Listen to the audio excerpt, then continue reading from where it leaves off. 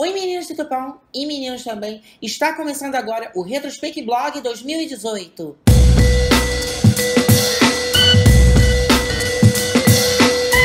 Tupão. Então, meninas, eu resolvi falar dos principais assuntos que aconteceram no mundo de 2018. E, gente, no Brasil, no início do ano, depois que acontece o Natal e o Ano Novo, parece que não aconteceu nada demais no ano de 2018. Então, gente, no início do ano eu não tenho tantas coisas importantes assim para falar. Na verdade, meninas, o ano inteiro eu não tenho tanta coisa assim importante para falar além de mim. Então, para começar o ano, gente, aconteceu a live da Anitta da música Indecente. No YouTube vai começar daqui a pouquinho. Por quê? Gente, pede pra ela parar de gritar, ela tá trabalhando minha live. O live vai no YouTube vai começar daqui a pouquinho, por quê? Vamos lá, time! Indecente foi uma música em espanhol que a Anitta gravou com uma promessa de ser a primeira live em clipe e música tatapão ao vivo para fazer e no Brasil tudo que é primeira vez é um burburinho que acontece. E assim aconteceu com a live da Anitta. Muitos problemas a Anitta foi enfrentando e a live teve muito atraso e os seus fãs e seguidores de Tutupão começou a duvidar dela. A minha opinião, meninas, nisso Tutupão é que agora a Anitta é minha amiga e eu vou estar em defesa dela. E se ela disse que foi live, foi live. Então se baseiem por mim. Quantas vezes eu disse que era live e vou continuar afirmando que é live porque foi live sim. Então isso foi um caos que aconteceu no Brasil. O Brasil barou por causa da Anitta. Logo depois teve o casamento de Whindersson Nunes e Luísa Souza, na qual eu não fui convidada. Bom, meninas, primeiro que eu não fazia nenhuma questão, porque eu não vi ninguém famoso lá. E se eles acham que algum deles, Santa Pão, era famoso, eu, particularmente, não acho e nem queria estar perto. Ele, né, convidou alguns youtubers natos. Quando eu digo youtubers natos, quero dizer que são youtubers antigos e velhos. Então, eu não faço questão de estar com esses youtubers que se acham os taus, vamos dizer assim. Eles não percebem que a fase deles já passou. Só que o Whindersson é o único antigo que continua. Nem sei se o Whindersson também é youtuber antigo. Luísa Souza, por sinal, estava muito bela, muito bonita, sabe? Eu tive o desprazer de trabalhar com ela no Multishow, mas eu não vou negar que ela estava impecável. Logo em seguida veio a polêmica perfeitinha. Mais uma vez, a Anitta querendo entrar aqui no Retrospect Blog 2018. Gente, bom dia! E aí, como é que tá, meus amores? Trabalhar comigo, tá gostando, amore? Tá Ai, eu já fiz um show que parou o Brasil, hein, gente? Ai, tô arrasando muito! Não vai ter pra ninguém, galera! Ai, esse mic aí eu não sei, hein? Tem como não eu fazer? Gostou, eu faço melhor. O que eu tenho para dizer dessa polêmica do Perfeitinho é que muitas pessoas apontaram alvos como Luísa Sonza, a última citada, apontaram também como Pablo Vittar, como apontada, apontaram também meninas de Tapão. A mim, porque eu sou perfeita, eu sou perfeita e esse é o meu jeitinho de ser. Apontaram para Simone Simaria e até hoje nós não sabemos. Apontaram até para Emily Araújo, ex-BBB. Você se lembra? Depois da polêmica perfeitinha, Camila Ukers faz cirurgia na permuta. Oi, gente, eu vim aqui fazer um vídeo para vocês para falar do meu estado, né? Eu tava no Rio de Janeiro quando minha bunda começou a papocar pus, fui para o hospital. O médico falou para mim ou tirar prótese ou morre de infecção generalizada. Eu não acho isso engraçado, mas temos que falar porque foi uma comoção nacional a cirurgia da Camila, porque foi na permuta e deu errado. E se ela diz que não foi na permuta, cabemos a nós acreditar nela. Porém, fica aí o aprendizado de não fazer nada na permuta, porque depois fica difícil de reclamar, afinal, já que foi de graça. Principalmente as novas blogueiras e blogueiros também, Tatapão. Tomem cuidado, não é para aceitar tudo aquilo que lhe oferece. Tretas de Karina Rangel, fim dos namoros, cocô no vaso e gravidez. É, meninas do pão, Karina Rangel, que é uma youtuber, na verdade ela é uma blogueira Tumblr. Ela, por sua vez, que já terminou vários namoros, mas os mais expostos foram esse ano. Um, ela deu a entender que um namorado tinha falado que ia vazar uma nuts dela. E o outro namoro, que eu pensava que ele era gay, enfim. Ela disse que ele atraiu. Bom, Karina, se eu falei alguma notícia errada, não fica chateada comigo. É porque eu nem procurei saber. Mas eu tenho que fazer o vídeo de Retrospect Blog. Depois disso, menina Chutupom, cocô no vaso. Sim, uma amiga dela que ela chamou para morar em sua residência disse que Karina Rangel fez cocô no vaso e nem sequer deu descarga. Bom, amiga da Karina, se eu bem conheço ela, ela deve ter deixado esse cocô para você comer. E gravidez. Karina deu a entender nos seus stories, meninas e meninos também, tanto pau, que uma gravidez estava por vir. É, aquele teste de gravidez não era dela. Nada daquilo aconteceu. Mas Garina não é. Garina. Melhor do mundo! Garina Rangel não aguentou o tranco e desmentiu logo de cara a gravidez. É, ficar gravidinha não é para todas. Blogueirinha não, blogueira. Essa foi uma notícia que parou não só o Brasil, como o mundo inteiro. Para começar, eu não sei nem o que é pejorativo, gente. E para terminar, cala a boca vai tomar no cu. Turn? Blogueirinha não blogueira disse Carol Pinheiro ao relatar insatisfação com o termo blogueirinha, que ficou muito famoso conhecido pela atriz, modelo vegana, apresentadora, influencer digital, criadora de conteúdos e formadora de opiniões, blogueira, blogueirinha de merda na época. Ela, na época, a gente disse isso a respeito e blogueirinha, logo por sua vez, retrucou. E foi com essa frase de Heloísa Faz Sol, Totopão, que blogueirinha retrucou Carol Pinheiro e com esta polêmica, Carol Pinheiros, que se viu na lama, jogada no limbó, ela, gente, que foi extremamente humilhada por pena dos fãs, conseguiu chegar a um milhão. É, essa polêmica foi minha, gente. Eu tenho orgulho dessa polêmica que eu sou polêmica, então eu tenho que ser polêmica e eu quero mesmo falar de polêmicas. Mas eu saí ganhando pela polêmica porque eu fiquei mais famosa ainda do que já sou. E você, Carol, que chegou a um milhão de inscritos. Festa Diva Depressão. Eu não digo que parou o Brasil, porque só eu paro o Brasil. Festa Diva Depressão, gente, que foi uma das festas mais aguardadas de 2018 que fosse feita, de Fi e Edu, Depressão Tutupão. Eles fizeram essa festa Minas Tutupão em torno de 70 mil dólares e eles passaram por uma coisa que eles não esperavam. Aconteceu um apagão. Que até hoje é um mistério e que se deu até uma novela depois disso, meninas. Sim, o Tumblr tem suas regras. E, gente, eles foram, os meninos ficaram arrasados com isso, prometeram que ia se vingar da Casa Bertolas e até hoje a gente está esperando essa vingança. Que eu quero vingança, eu quero sangue. Porque a Casa Bertolas acabou com a festa deles, embora muita gente ficou na festa, permaneceu na festa também, Tutupão. Porém, assim, é o que eu sempre digo. Eles não queriam deixar levar meu boy, meus amigos e minha família. Bom, se não tem dinheiro para fazer festa, não faz. Eu, por exemplo, a minha festa de um milhão, eu quero dar um iate na minha festa. E eu vou chamar o Brasil inteiro para ficar olhando. pra olhar as fotos do Insta. Enfim, é o que eu penso. Treta. Camila Rossado versus Evelyn Evelyn. Gente, vamos lá. Polêmica do dia. Porque se o povo não arrumar polêmica comigo, o povo não fica satisfeito. Eu vi que tava todo mundo lá me marcando para poder eu gravar com a Camila Rosado e tal. Amigas, peço a vocês encarecidamente, é, não perturba mais nenhum youtuber grande pedindo, já que é uma vontade de vocês, como tem algumas que é vontade minha também, para poder fazer collab comigo, tá? Sim, meninas, essa foi uma treta que não deu nada demais, mas eu vou comentar. Camila Rossado fez um post e Evelyn Levelin comentou nesse post dizendo que nem sei o que disse. Ah, eu e minha mania de não procurar saber das coisas.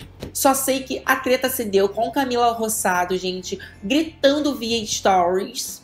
Falando que a Evelyn era falsa, que não grava, que a Evelyn, Evelyn não queria gravar com ela, tata pau. E se deu nisso a treta toda. E Evelyn, nem lembro também se ela respondeu. Quem se meteu, eu. Porque eles começaram a falar de evento e BCL que eu estava lá fazendo parte. Sendo que a, eu fui me meter e eu falei que eu e a Evelyn tinha sido as protagonistas do evento, as principais. E eu só não fechei o evento porque me deu uma dor de barriga, porque eu tinha comido muito aspargos, low carbo, carbo, proteína. Então a Evelyn foi fechar o evento para mim. Apenas isso.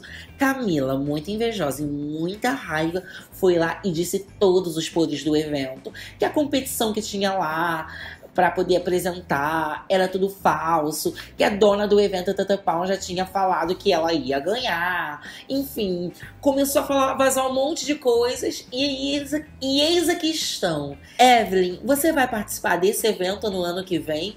que eu também participei, Tata Pau. Camila, se você for convidada e for paga também, Tata Pau, você participa do evento? E você, blogueirinha, participa ou não participa? Eu respondo: participo sim, desde que me paguem. Melhor do mundo! Bomba! Cocielo pede desculpas. Ué, foi ser preconceituoso, aí o que aconteceu? Porque 2018 foi o ano da internet caçar os tweets antigos. Não acabou em 2017 com o cantor Biel. 2018 também aconteceu em grande proporção com o Costello e ele teve que pedir desculpas. Ele fez um vídeo e daí tocou o meu coração e eu também fiz um vídeo no meu canal pedindo desculpas, sem ter feito nada, mas eu queria pedir desculpas. Jay McCartney leva na cara, sim.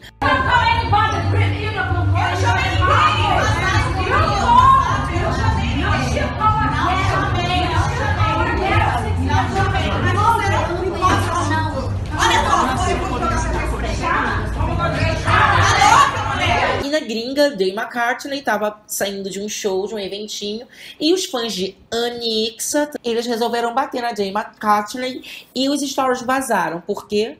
Porque eu vendi os stories. Anitta e os 70 mil dólares. Gente, essa história dos 70 mil dólares deu o que falar. Porque tudo dava a entender que os 70 mil dólares era referente a Pablo. Que a Pablo estava devendo, porque a Pablo chamou a Anitta de pandura. E a Anitta foi e respondeu: Óbvio, porque para que, que eu vou alugar jato e helicóptero para ficar mostrando para os outros que eu sou rica? Eu não. Jato era carérrimo, o clipe eu tava pagando sozinha. Muito pão duro, entendi. Pão duro ia ser se eu pegasse e falasse assim, não, eu não vou pagar clipe nenhum, faz, é, faz de qualquer jeito. Agora o clipe caro cá, 70 mil dólares, amor, dólares. Sou pão dura, jurou para ficar pagando jato pra galera, no, é, pra galera aí com a bunda no sol, eu também. Não preciso, sou de Honório Gurgel, meu, meu filho. Sou de Honório Gurgel, real. Passei muito perrengue na minha vida. Então, deu o que falar porque Léo Dias vazou esse áudio. E também, meninos de Tupão, no mundo dos youtubers, todo mundo estava dizendo que era uma indireta para Diva Depressão, no qual a festa custou 70 mil dólares e quem bancou tudo foi Anitta. E quando Diva Depressão foi reclamar da falta de iluminação em sua festa, porque a Anitta não gastou muito com a festa dele e chamou ela de pão dura. Tava pagando sozinha. Muito pão dura, entendi. Anitta se casa sem falar com ninguém e agora Anitta termina casamento sem falar com ninguém também, Tata Pau. Bom, foi um casamento que durou pouco, mas eu não posso falar nada, que meus namoros não passam de duas semanas. Isso quando eu namoro, né? Porque às vezes, enfim, às vezes duas horas é um tempo suficiente para fazer um filho. E eu fiz. O Whindersson Nunes fica sarado, mas continua com cara feia.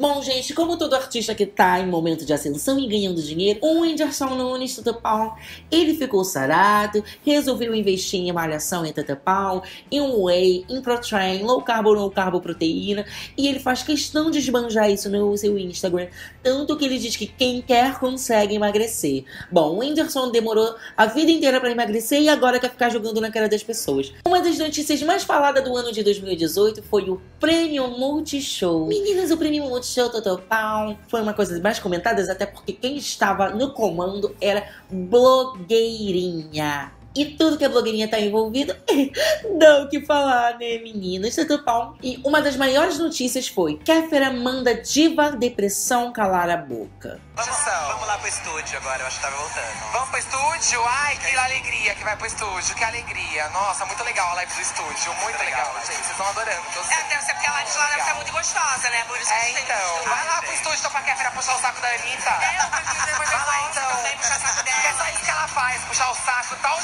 Gianni tá falando que tá adorando. Quem Para, quer que depois nós vamos embora. Não dá pra falar. Gente, meu Deus do céu. Ô, Diva. Ela tá se achando demais e ela é, né? É isso que eu falo. Não é que ela tá se achando, ela é. É questão de puxar saco, é questão de reconhecer o talento que ela tem. Ô, cala a boca aí, vocês.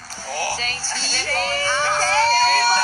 gente manda shade aqui mesmo. É isso aí. A gente tá aqui diretamente. Abaixa a bola aí, ô dois. Kéfera tava falando demais e ninguém mais tava suportando ela e ouvir a voz dela. Diva Depressão, julgo Eduardo Lopes. Que história é essa, Kéfera, de você mandar a gente calar a boca? Você tá pensando que você é quem? Só porque você tá na novela? Deu um tapa na cara dela e ela mereceu. Ficou com a cara toda vermelha, coitadinha. E blogueirinha linda, maravilhosa, mostrou muito profissionalismo nessa live, conseguiu seu espaço na televisão e desde então teve um programa de televisão cujo nome difícil de focar, porque mostrou trabalho, seriedade, serieísmo e tutupão com seu jeitinho de ser. E desde então ela é apresentadora de televisão. Passado um tempo, blogueirinha de merda tira o merda do nome e deu muito o que falar. Muitas meninas e meninos também, tudo bom, deixam de seguir blogueirinha ex de merda. Muitas especulações disseram que foi por conta do Multishow. Blogueirinha de merda, cujo eu essa perfeição. Gente, pode luz falar. Não tirei o merda do nome por conta do Multishow. Matheus Massafera expulsa Roma Gaga de camarote. É, meninas, Matheus Massafera não tava afim de olhar pra cara da Roma Gaga, expulsou ela. Ah, sei lá. Às vezes eu faço isso também. Quase ninguém comentou a respeito disso, mas eu queria encher linguiça. Spartacus Santiago. Eu já fiz um vídeo defendendo o Spartacus porque o Spartacus ele precisa sim de um iPhone de Apple. Todo mundo quer ser e eu defendo o Spartacus de qualquer jeito por conta disso. Porém, a solidão dele já passou, porque ele tava na festa do YouTube. Blogueirinha e Maíra incomoda no Corrida das Blogueiras. Corrida das Blogueiras foi um reality show que aconteceu agora no fim de ano no YouTube e blogueirinha e Maíra, por serem polêmicas e darem pitacos nas blogueirices alheias, elas foram muito criticadas. Maíra que criticou o tamanho do cropped da Renata, foi muito bombardeada. Por outro lado, blogueirinha foi muito bombardeada por ser linda, por ser atraente, por ser sensual, por ela chamar atenção. Ela foi criticada por dizer coisas incríveis no reality show e ela foi criticada por isso, mas ela é perfeita, né? Uma das últimas notícias que sucederam agora, gente, foi Kéfera no encontro com Fátima Bernardes. Assim, o que você está fazendo é mansplaining, que é, é o homem explicar o feminismo para a mulher. Não é necessário. A gente sabe muito bem o que é feminismo e a gente entende o seu ponto de vista. Só que é desnecessário. Não. Oi. Não, é, em nenhum não, momento. Assim, ó, não, não, em nenhum momento eu tô tentando chamar o tá feminismo. Tá que... Kéfera, que foi falar de um assunto para qual foi chamada, que foi feminismo, foi bombardeada por atropelar, se quer deixar um machista comentar a respeito do que é feminismo. Kéfera, se fosse eu, teria matado ele. Então, embora você esteja errada, eu acho que você está certa, sabe? Kéfera poderia estar errada no momento que Fátima perguntou ao rapaz e era a vez dele comentar, a vez dele falar alguma coisa tutupão e ela interrompeu, coisa que ela já tinha feito muitas vezes no prêmio Multishow. Blogueirinha é demitida do Multishow após cinco programas exibidos na emissora. Sim, eu fiz o programa Difícil de Focar, meninas, e o programa teve cinco episódios e muita gente está dizendo que eu fui demitida por ter dado adeus ao programa. Porém, meu contrato com o Multishow continua de pé e eu tenho mais cinco episódios do programa para fazer no ano que vem. Então fica a cargo do Multishow quando começa ou quando não começa. Uma coisa eu tenho a dizer a vocês: não fui demitida porque o Multishow já pagou tudo, meninas do Tupão. Então, burros seriam eles se não quisesse que eu fizesse o programa, que eu terminasse de fazer o programa, tá? E para mais notícias como essa, meninas do Tatapão, vocês vão no canal de Alexandra Gurgel, que é o canal onde dá opinião e faz vídeo resposta de todos os vídeos, de tudo que foi aqui comentado no YouTube. Meninas, agora vamos para a última notícia de 2018 que deu o que falar. Mas antes, deixa seu like, compartilha com todo mundo e se inscreva no canal, meninos, que é muito importante para mim, porque eu quero ser mais rica do que eu já sou. Tatapau. Maíra Card é atacada no Instagram por não querer mostrar o rostinho da sua filhinha, tampando ele. E o primeiro ataque aconteceu quando ela resolveu fazer stories, colocando a sua filha em posição que não agradou aos fãs. E nem a filhinha que estava ali também agonizando. Tomando sol pela manhã, o seu figurino maravilhoso de bolinhas pitadinhas. Logo depois disso, meninas, tá bom, eu fui bombardeada porque eu também fiz o mesmo. Eu vi o jeitinho mãe de ser, a diferença é que eu deixei a minha bebezinha cair no chão e a mulherinha dela, gente, ficou assim. Então, meninas, esse foi o vídeo de hoje. Eu espero que vocês tenham gostado. Se gostou, compartilhe. Um beijo da blogueirinha. Feliz ano novo e tchau!